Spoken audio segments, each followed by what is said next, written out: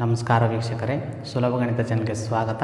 ಇಂದು ನಾನು ಎಂಟನೇ ತರಗತಿ ವಿದ್ಯಾರ್ಥಿಗಳಿಗಾಗಿ ಅಧ್ಯಾಯ ಒಂಬತ್ತು, ಕ್ಷೇತ್ರ ಗಣಿತ, ಅದರಲ್ಲಿ ಅಭ್ಯಾಸ ಒಂಬತ್ತು ಪಾಯಿಂಟ್ ಎರಡರಲ್ಲಿ ಪ್ರಶ್ನೆ ಸಂಖ್ಯೆ ಒಂಬತ್ತರ ವಿವರಣೆಯನ್ನು ಕೊಡ್ತಾ ಇದ್ದೀನಿ. ಇಲ್ಲಿ ನೋಡಿ, ಏನು ಹೇಳ್ತಾ ಇದ್ದಾರೆ ಅಂದರೆ, ಎತ್ತರದ ವೇದಿಕೆಯೊಂದರ ಮೇಲ್ಮೇ ಚಿತ್ರದಲ್ಲಿ ತೋರಿಸಿರುವಂತೆ ಇದು ಏನಾಗಿದೆ ಅಂದರೆ, ಸಮ ಅಷ್ಟಭುಜಾಕಾರದಲ್ಲಿದೆ ಅಂತ ಹೇಳ್ತಾ ಇದ್ದಾನೆ. ಸಮ ಅಷ್ಟಭುಜಾಕಾರ ಅಂತಂದರೆ ಎಲ್ಲ ಬಾಹುಗಳು ಸಮನಾಗಿರುತ್ತವೆ. ಅರ್ಥ ಮಾಡ್ಕೊಳ್ಳಿ.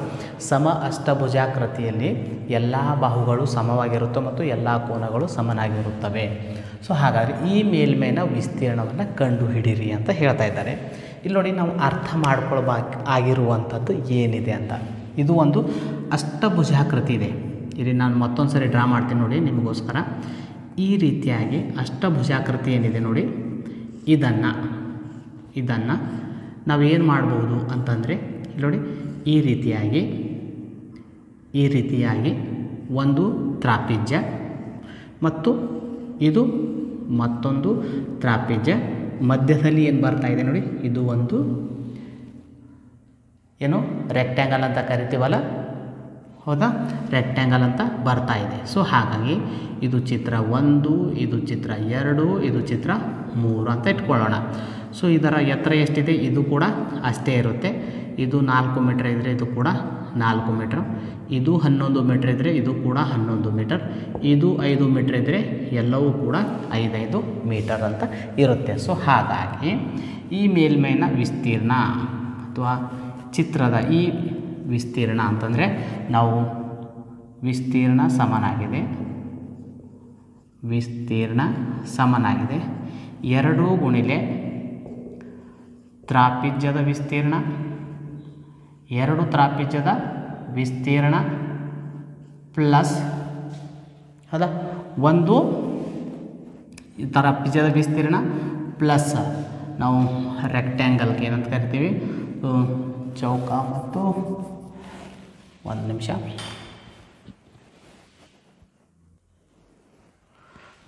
ಸೊ ಇಲ್ಲಿ ಒಂದೇನಾಗ್ತಾ ಇದೆ ಅಂತಂದರೆ ಈ ಎರಡು ತ್ರಾಪಿಜ್ಯಗಳು ಬರ್ತಾ ಇವೆ ಇಲ್ಲಿ ನೋಡಿ ಇವೆರಡು ತ್ರಾಪಿಜ್ಯಗಳು. ಮತ್ತು ಇದು ಮಧ್ಯದಲ್ಲಿ ಬರ್ತಾ ಇದೆ ನೋಡಿ, ಇದು ಒಂದು ಆಯತ. ಸೊ ಹಾಗಾಗಿ ಎರಡು ತ್ರಾಪಿಜ್ಯ ವಿಸ್ತೀರ್ಣ ಪ್ಲಸ್ ಒಂದು ಆಯತದ ವಿಸ್ತೀರ್ಣ. ಆಯತದ ವಿಸ್ತೀರ್ಣ. ಸೊ ಇಲ್ಲಿ ಎರಡು ಗುಣಿಲೆ. ತ್ರಾಪಿಜ್ಯದ ವಿಸ್ತೀರ್ಣ ಏನಿದೆ ನೋಡಿ, ಅರ್ಧ ಗುಣಿಲೆ ಎಚ್ ಎಂಟು ಎ ಪ್ಲಸ್ ಬಿ ಇದೆ. ಪ್ಲಸ್ ಆಯತದ ವಿಸ್ತೀರ್ಣ ಏನಿದೆ ನೋಡಿ ಲೆಂತ್ ಇಂಟು ಬ್ರೆಡ್ತ್ ಇದೆ. ಅಂದರೆ ಉದ್ದ ಗುಣಿಲೆ ಆಗಲ್ಲ ಅಂತ ಇದೆ. ನೋಡಿ, ಎರಡು ಎರಡು, ಕಟ್ಟಾಯಿತು. ಹೈಟ್ ಎಷ್ಟಿದೆ ನೋಡಿ, ನಾಲ್ಕು ಮೀಟರ್ ಉಂಡ್ಲಿ. ಎ ಬೆಲೆ ಎಷ್ಟಿದೆ ನೋಡಿ, ಇದು ಹನ್ನೊಂದು ಹನ್ನೊಂದು ಮೀಟರ್. ಪ್ಲಸ್ ಇದು ಎಷ್ಟಿದೆ ನೋಡಿ ಬಿ ಬೆಲೆ, ಇದು ಐದು ಮೀಟರ್. ಏಕೆಂತಂದರೆ ಇದು ಐದು ಮೀಟ್ರ್ ಏನಿದೆ ನೋಡಿ, ಎಲ್ಲ ಕಡೆ ಸಮನಾಗಿರುತ್ತೆ. ಯಾಕಂದರೆ ಇದು ಸಮ ಅಷ್ಟಭುಜಾಕಾರದಲ್ಲಿದೆ. ಪ್ಲಸ್ ಮತ್ತು ಇದು ಎರಡು ನಾನು ತ್ರಾಪಿಜೆ ತೆಗೆದುಕೊಂಡಿದ್ದೀನಿ ನೋಡಿ. ಎರಡು ತ್ರಾಪಿಜ್ಯ ಅಂತ ತೆಗೆದುಕೊಂಡಿದ್ದೇನೆ. ಹಾಗಾಗಿ ಒಂದರ ಬೆಲೆ ತೆಗೆದುಕೊಂಡ್ರೆ ಸಾಕು. ಮತ್ತು ಇದು ಒಂದು ಆಯತಾಕಾರ. ಇದು ಎಷ್ಟಿದೆ ನೋಡಿ, ಹನ್ನೊಂದು ಮೀಟರ್.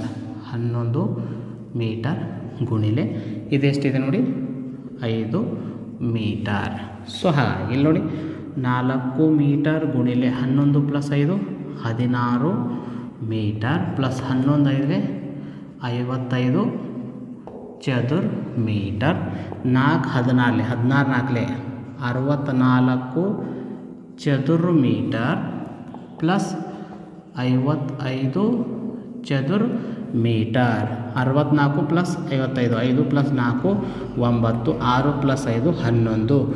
ಒಂದು ನೂರ ಹತ್ತೊಂಬತ್ತು ಚದುರ ಮೀಟರ್ ಅಂತ ಹೇಳ್ಬೋದು. ಸೊ, ಹಾಗಾಗಿ ಈ ಮೇಲ್ಮೇನ ವಿಸ್ತೀರ್ಣ. ಆದ್ದರಿಂದ ಈ ಮೇಲ್ಮೇನ ವಿಸ್ತೀರ್ಣ, ಈ ಮೇಲ್ಮೇನ ವಿಸ್ತೀರ್ಣ ಒಂದು ನೂರ ಹತ್ತೊಂಬತ್ತು ಚದುರ್ ಮೀಟರ್ ಅಂತ ಹೇಳಬಹುದು ಇಲ್ಲಿಗೇನಾಯಿತು ಪ್ರಶ್ನೆ ಸಂಖ್ಯೆ ಒಂಬತ್ತು ಮುಕ್ತಾಯವಾಯಿತು ಪ್ರಶ್ನೆ ಸಂಖ್ಯೆ ಹತ್ತು ಬೇಕಾದರೆ ಮುಂದಿನ ವಿಡಿಯೋ ತನಕ ವೇಟ್ ಮಾಡಿ. ಅಲ್ಲಿವರೆಗೂ ಧನ್ಯವಾದಗಳು. ಶುಭ ದಿನ.